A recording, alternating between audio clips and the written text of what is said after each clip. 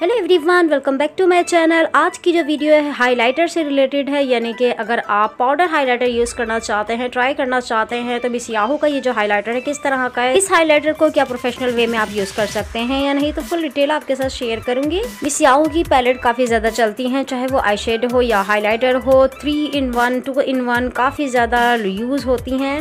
And her market में, हर जगह पे बसानी मिल भी जाती है, लेकिन जो बिगनर्स हैं वो चाहते हैं ऐसी प्रोडक्ट हो जो कि अफोर्डेबल भी हो और क्वालिटी भी अच्छी हो। अगर आप क्वालिटी की बात करें तो इसकी क्वालिटी थोड़ी सी लाइट होती है, यानी कि अगर क्रिस्टीन का हाइलाइटर इससे कंपेयर करेंगे तो क्रिस्टीन का ज़्यादा बेस्ट रहता है। क्योंकि इसका जो पिगमेंट होता है वो अच्छा तो होता है, लेकिन जब अप्लाई करते हैं तो लॉन्ग लास्टिंग इतनी ज़्यादा नहीं रहती, बहुत ही ज़्यादा ये ग्लिटरी फॉर्म पे होता है।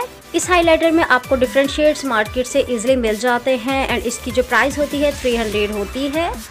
फिंगर से जब आप अप्लाई करते हैं तो इसका पिगमेंट काफ़ी अच्छा लगता है और अप्लाई करते वक्त भी काफ़ी अच्छा लगता है। लेकिन जब आप काफ़ी देर तक इसको अप्लाई करके जाते हैं तो एक तो ग्लिटरी टेक्सचर आता है। बहुत ज़्यादा स्मूथ एंड फाइन टेक्सचर नहीं लगता। सो अगर आप मेरी सजेशन चाहेंगे तो इसको मैं अवॉइड करूँगी। काफ़ी ज़्यादा लेडीज़ इसको पसंद भी करती हैं, काफ़ी ज़्यादा यूज़ भी करती हैं, काफ़ी ज़्यादा सैलून्स पे भी ये यूज़ किया जा रहा है। लेकिन सबके अपने अपने ओपिनियन होते हैं, जिसको जो पसंद हो प्रोडक्ट वो वही यूज़ करता है। सो अगर क्लासेस वगैरह आप ले रहे हैं बिगनर हैं तो आप इसको बिल्कुल ट्राई कर सकते हैं। लेकिन अगर आप प्रोफेशनल वे में यूज़ करना चाहते हैं क्रिस्टीन का आप बाय कर सकते हैं। बहुत ही ज़बरदस्त है पिगमेंट काफ़ी अच्छी होती है। फाइन टेक्सचर होता है ब्लेंडिंग प्रॉपर तरीके से हो जाती है।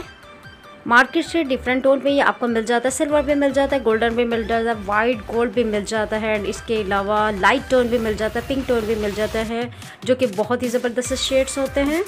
ये थी कुछ इन्फॉर्मेशन इस हाइलाइटर के हवाले से। मिलता है नेक्स्ट वीडियो पे। अल्लाह हाफिज़।